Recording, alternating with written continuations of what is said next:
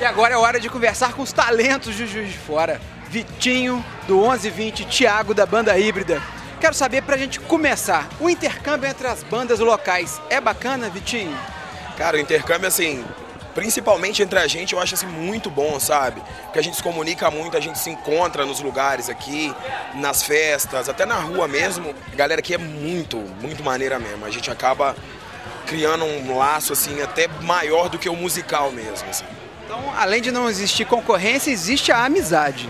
Acho que essa amizade, ela só, tipo assim, ela já vem muito além de música, né, cara? Então, nada melhor do que a gente fazer uma parceria com isso, cara. Esse negócio de concorrência não tá com nada, a gente tá aqui para provar que as duas bandas podem fazer um show beneficente, ajudar quem tá precisando, é, é poder chamar a imprensa toda para ver isso, chamar essa galera toda que tá aqui com um evento que é maior surpresa, né? Que, tipo assim, desde só semana passada Hoje é quarta-feira, são 8 horas da noite, o evento aqui no CCBM.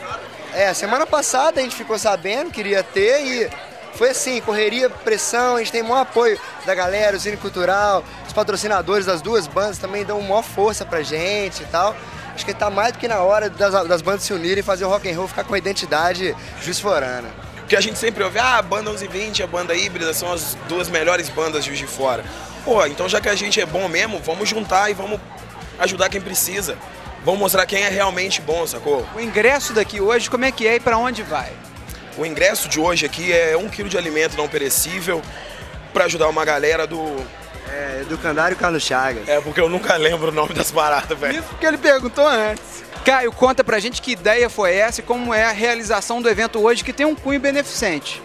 Totalmente beneficente, isso foi um trabalho da faculdade, é, é a turma do primeiro período de comunicação social do SES a professora passou um trabalho onde a gente deveria desenvolver um projeto para ajudar uma entidade à nossa escolha. Nossa escolha foi o educandário Carlos Chagas. E como eu sou amigo do pessoal das bandas, já, já conheço, já vivo no meio da música, já tinha produzido eventos, resolvi unir o útil ao agradável.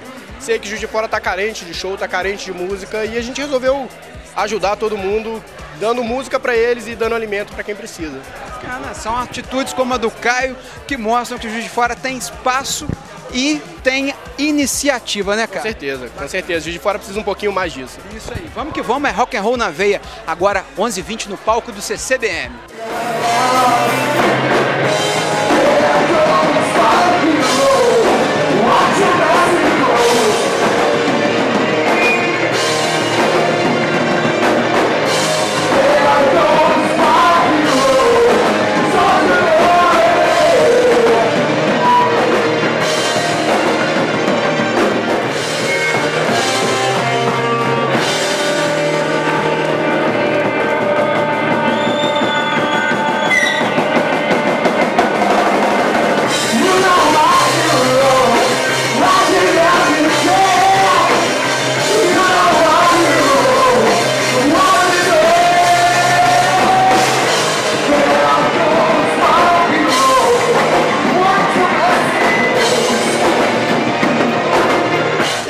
Novidade do 1120 para agora? A nossa novidade é o lançamento do EP com seis músicas praticamente inéditas. Para nos achar na internet é www.fotolog.com barra 11 por extenso e 20 número. Tiagão, diz para nós. Pô, a gente tá aí continuando com a Tour 2010 aí, já é meio que uma extensão da Tour 2009. A gente tá voltando em vários lugares que a gente tocou em 2009, agora em 2010. Estamos aí para lançar o terceiro clipe, depois de Alma Seca e Carnaval. Pois é, cara, vamos falar do Carnaval.